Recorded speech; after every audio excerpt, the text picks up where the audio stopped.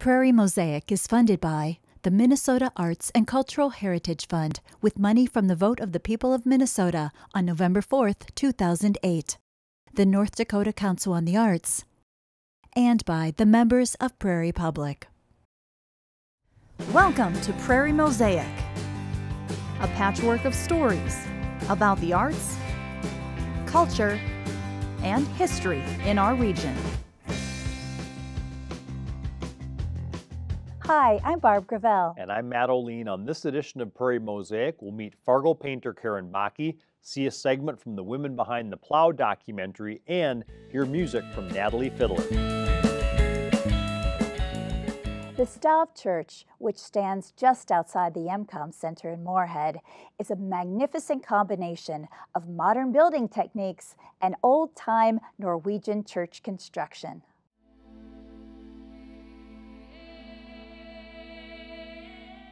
I like to smell the pine. And I'm satisfied that we got it started and we got it finished and it's still standing and people seem to enjoy coming here. So there's a lot of satisfaction in that. Guy Paulson in the mid 1990s was nearing retirement age or, and, and uh, he wanted a retirement project, I think. Stav churches are really fascinating pieces of architecture. Around the year 1000, the Vikings convert to Christianity. The Scandinavians, the Norse culture, give up Odin, Thor, Loki, their old gods, and they have to build churches for this new religion they joined up with. Everywhere else at this time in Europe, it was the age of the giant stone cathedrals being built up to the sky. In Scandinavia, this was a culture of carpenters, they're woodworkers. So these are wooden translations of medieval stone cathedrals. These are called stav churches or stave churches because of the construction technique.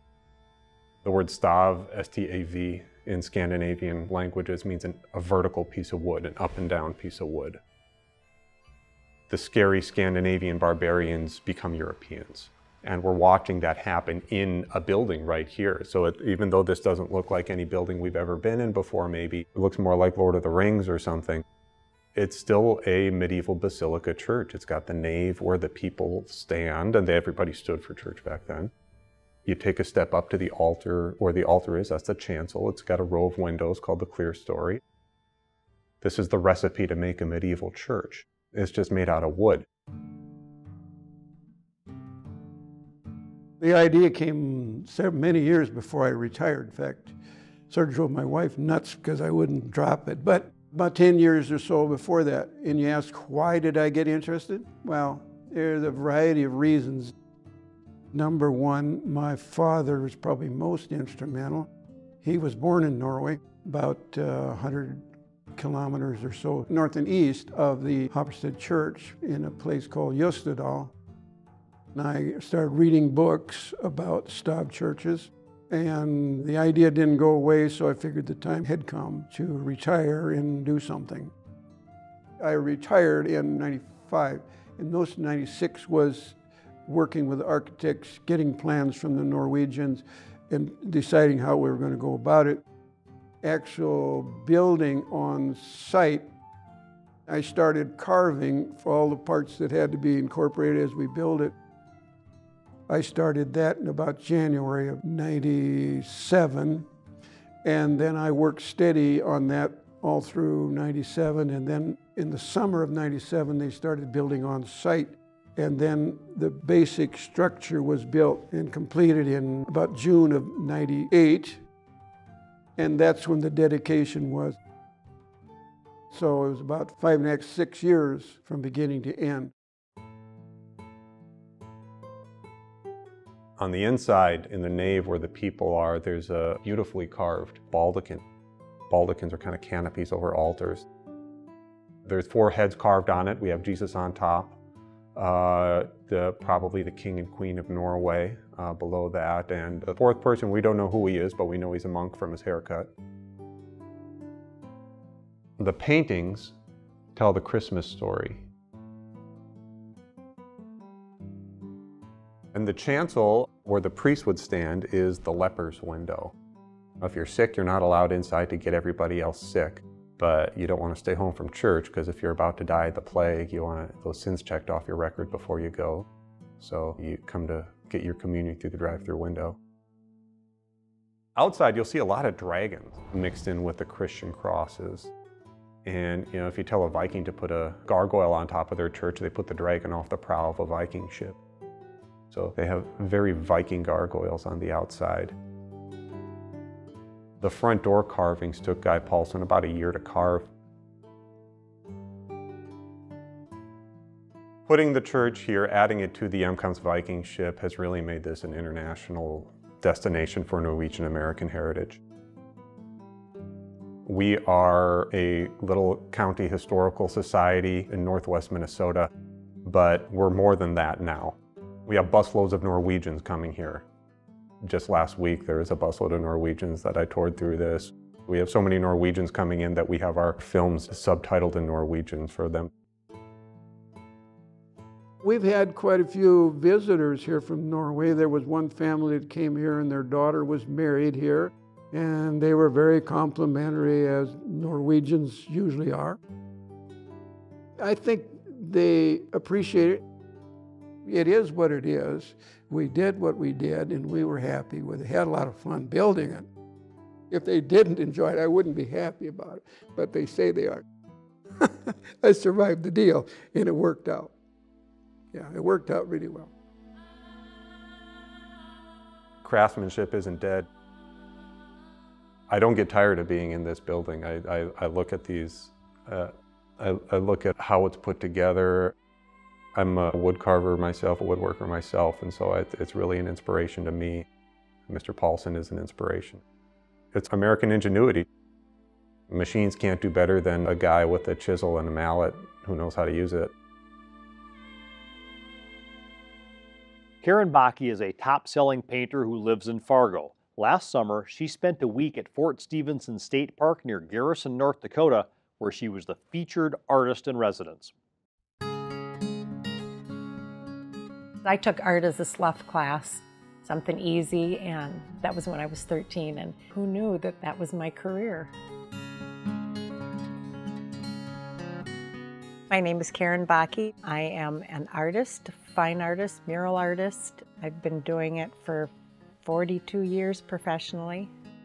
I sold paintings or drawings at the age of seven because my dad bought them. I wanted to go to the candy store and, Dad, I have a painting. And so he would buy my drawings for a nickel and a quarter and a dime. This needs to be cooler, so I put a little blue in this line here. I pretty much paint everything because I like to eat. This is my sole income, and it always has been. I just think it's good to grow and paint everything because every time you do something different, you're going to learn. I really enjoy painting animals.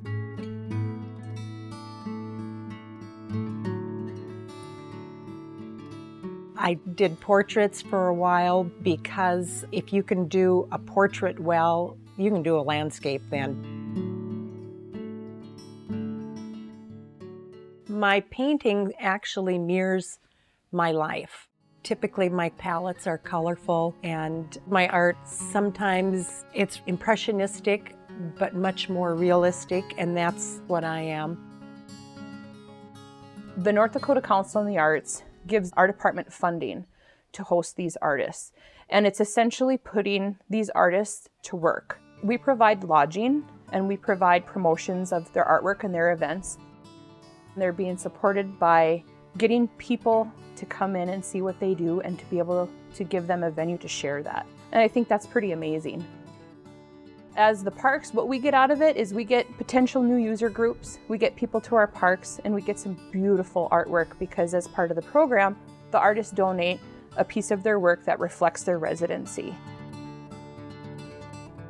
It's really a nice opportunity for both the parks and the artists just to come to the park with nothing else to do but paint, no other obligations. I really enjoy coming by myself because there's so much solitude. I can put all of my thoughts into that painting.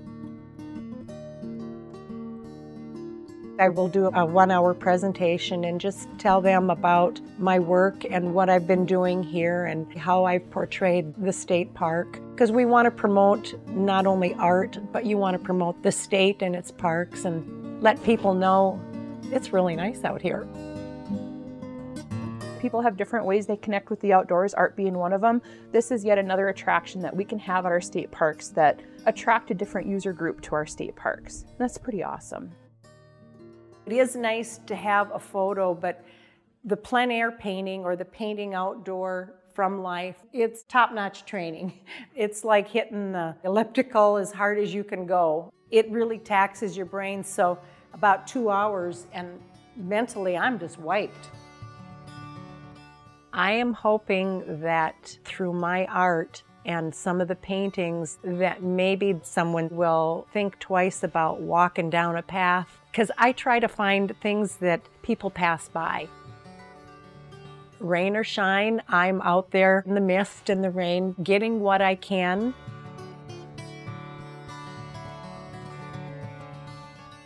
Karen's work is amazing. I'll be the first one to tell you that I am not an artist. I don't speak their lingo, but I have a true appreciation for it. I look at Karen's work and Karen celebrates life, life in the form of plants or animals, and she's able to bring a ceiling to life through a mural, a wall to life, and that just amazes me.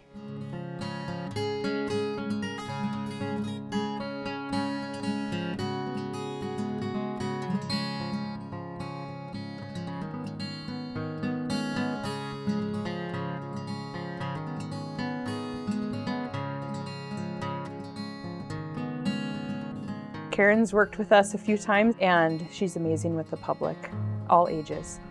Okay, so I'm going to give you watercolor paper.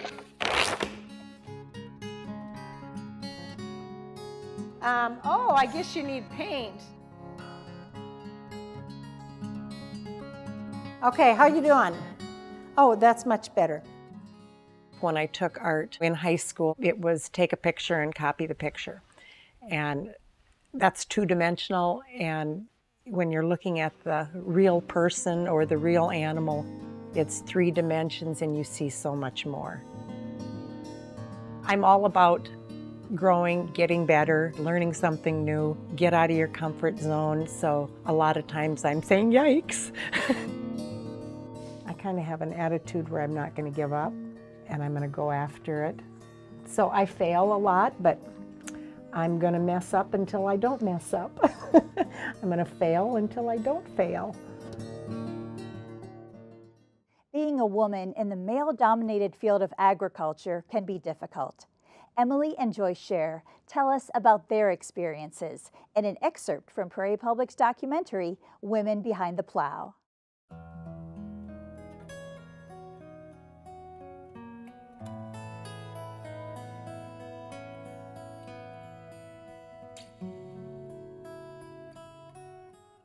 I always wanted animals, and so my dad told me I should marry a farmer. And I married a farmer, and we moved to Zeeland in November of 1979. And we started out with 25 cows. I had to learn everything. I didn't know what I was doing, basically. How long to milk the cows, how to feed calves. I grew up in a home where there were three girls, so coming to a family where there was all boys, it was hard for them to adjust to a girl wanting to be outside and work. And so I think that was probably my biggest issue was I felt like I had to prove myself all the time. I believe it's changed because I believe there are more women that are in agriculture now that have bit the bullet and just done it. I think that back when I was younger, it was a scary thing. And I think that when things happen to people's husbands, I don't know how many women actually stayed on the farm. I think now that men have adjusted to the fact that women can farm, I could totally see any one of my girls farming because of what they were taught. We have three daughters, Alicia, Kristen, and Emily. They worked hard. They all had to feed calves. I would say by the time they could walk, they probably held a bottle in their hand to feed calves. We always told them that we could have never farmed if they wouldn't have helped. After Tom passed away, we were very fortunate that the farm was paid for. There were people that thought I should sell out. They didn't know what I wanted here. But this is our home. We were on this farm for 34 and a half years together. I don't know where else I'd want to be right now. As far as men in the community, I have my handful of men who were totally awesome that came to help and still come to help. No questions. Pretty much let me make the decisions, but are always there to help if I need help. She is actually a crop adjuster and she's always been my go-to person in the last three and a half years. She comes home and helps me do things. After Tom passed away, she put the hay down for me and I baled it. So we're kind of a team and her goal someday is to farm this farm.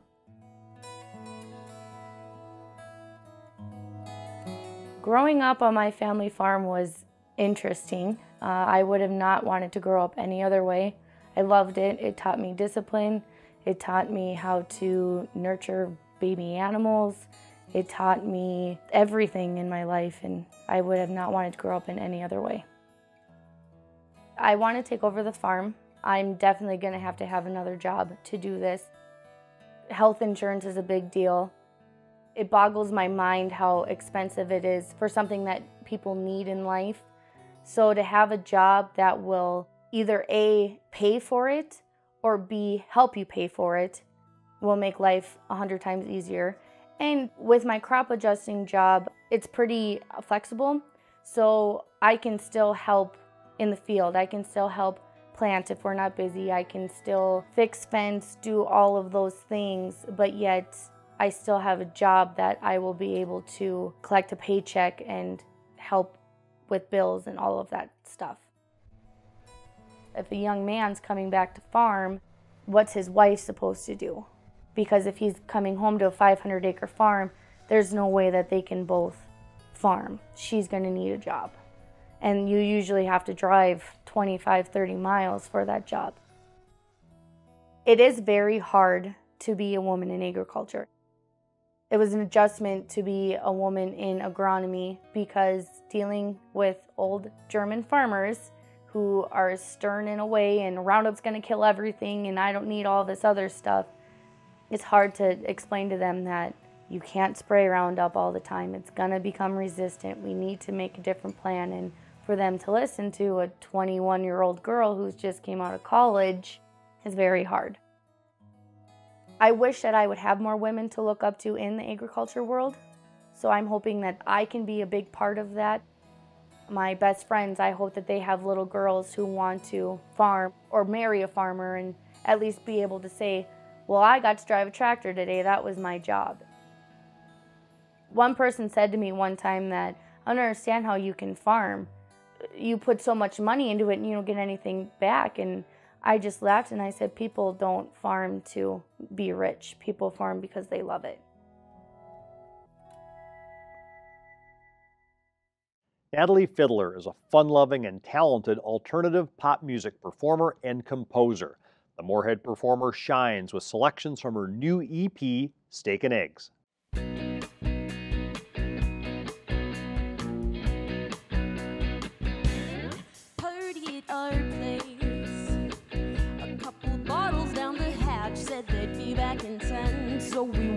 For your car. The headlights pull up and we shout, Thank you, God, as you put up, pull up, show up. I'll never be your girl. As much as I'd like to, you're too far inside yourself. The war between my lungs can only be solved by our breathing coexist.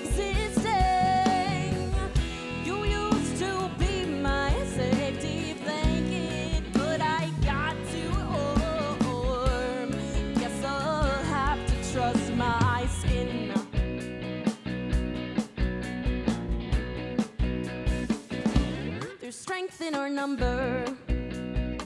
So count your blessings as they leave. Choices made after midnight never come cheap. I'm wringing my hands, hoping you'll ring the doorbell and curl back with apologies. Tell me not to worry. That the voices in my head are all made up. But just like Dumbledore said, firewood in my head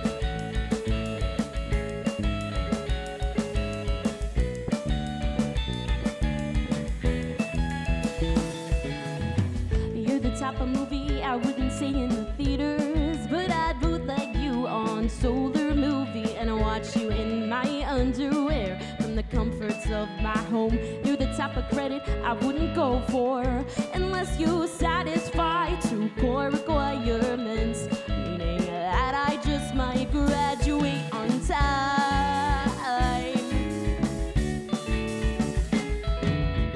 You're the type of t-shirt I only sport when all my favorite ones are in the wash. The type of CD I only pull out during boring road trips. But I like awful movies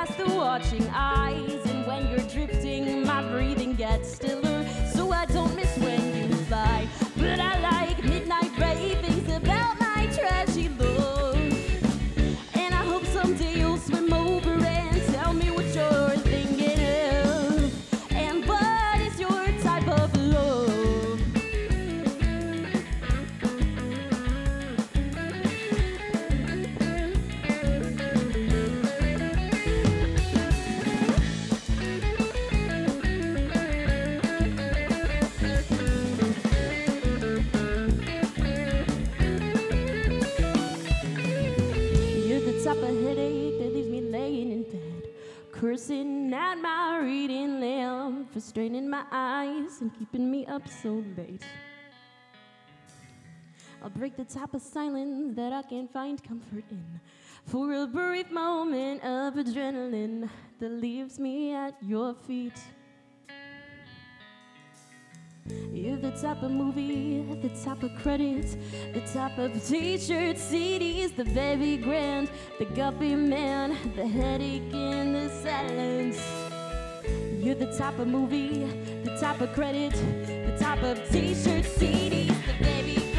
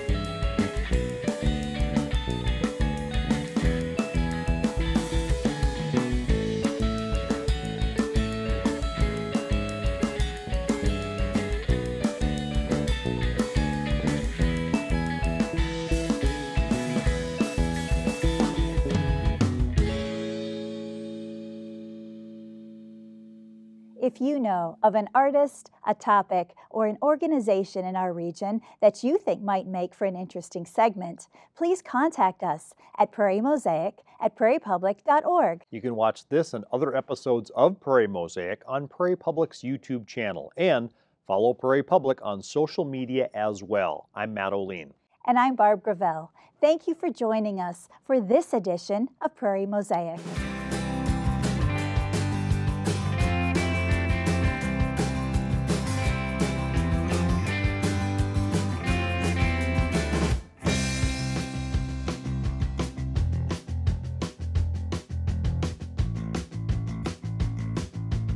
Prairie Mosaic is funded by the Minnesota Arts and Cultural Heritage Fund with money from the vote of the people of Minnesota on November 4th, 2008, the North Dakota Council on the Arts, and by the members of Prairie Public.